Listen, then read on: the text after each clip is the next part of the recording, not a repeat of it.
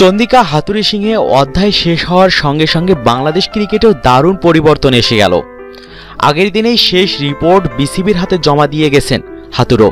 যাওয়ার আগে বিসিবি সভাপতি নাজমুল হাসান পাপনের কাছে নিজের পদত্যাগের জন্য বাংলাদেশ দলের সিনিয়র ক্রিকেটারদের উপর সব দায়ভার চাপিয়ে দিলেন তিনি।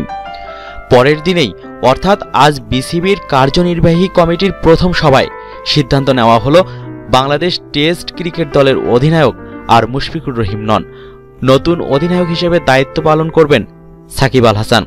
তার সঙ্গে সহকারী হিসেবে দায়িত্ব পালন করবেন মাহমুদুল্লাহ রিয়াদ। অর্থাৎ মুশফিকুর রহিমের সঙ্গে সহকারী অধিনায়কের দায়িত্ব থেকে সরিয়ে দেওয়া হলো তামিম ইকবালকেও। কার্যনির্বাহী কমিটির সভা শেষে এক জনাকীর্ণ সংবাদ সম্মেলনে উপস্থিত হয়ে সাংবাদিকদের এসব তথ্য জানান বিসিবি সভাপতি নাজমুল হাসান পাপন।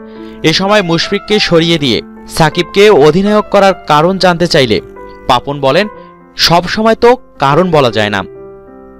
তবে তিনি জানিয়েছেন, সবার সঙ্গে আলোচনা করেই নাকি এই সিদ্ধান্ত নেওয়া হয়েছে, মুশফিকের সঙ্গেও নাকি আলোচনা করা হয়েছে এই ব্যাপারে। গত মার্চে শ্রীলঙ্কা সফরেই টি টোয়েন্টি অধিনায়কের দায়িত্ব ছেড়েছিলেন মাশরাফি বিন মুর্তজা।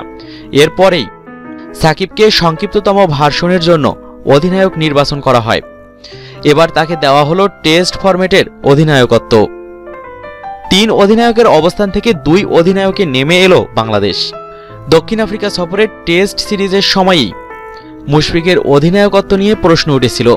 দুই টেস্টেই টসে জিতে ফিল্ডিং নেওয়ার সিদ্ধান্ত নিয়ে দারুণ সমালোচিত হন অধিনায়ক মুশফিকুর রহিম। এর আগেও গত ফেব্রুয়ারিতে ভারত সফরে একমাত্র টেস্টের সময়ও মুশফিকের অধিনায়কত্ব নিয়ে প্রশ্ন উঠেছিল। একই সঙ্গে তখন কথা উঠেছে, মুশফিকের তিন দায়িত্ব নিয়েও। একাধারে অধিনায়ক, উইকেটরক্ষক এবং ব্যাটসম্যান। তিন দায়িত্ব তার উপর চাপ সৃষ্টি করেছে বলে উইকেট কিপিংয়ের দায়িত্ব থেকে তাকে সরিয়ে দেওয়ারও সিদ্ধান্ত নেওয়া হয়েছিল। কিন্তু দক্ষিণ আফ্রিকা সফরে মুশফিকের নেতৃত্ব নিয়ে সবচেয়ে বেশি প্রশ্ন উঠেছে। টস ছাড়াও বেশ কিছু বিতর্কিত মন্তব্য করে তিনি অনেকের রোষানলে পড়ে যান। তখনই আলোচনায় এসেছিলেন। টেস্ট নেতৃত্ব থেকে তাকে সরিয়ে দেওয়া হতে পারে। যদিও সিরিজ চলার মাঝপথে সেই আলোচনা বিসিবি থেকেই থামিয়ে দেওয়া হয়েছিল। শেষ পর্যন্ত সেই মুশফিককে সরিয়েই দেওয়া হলো।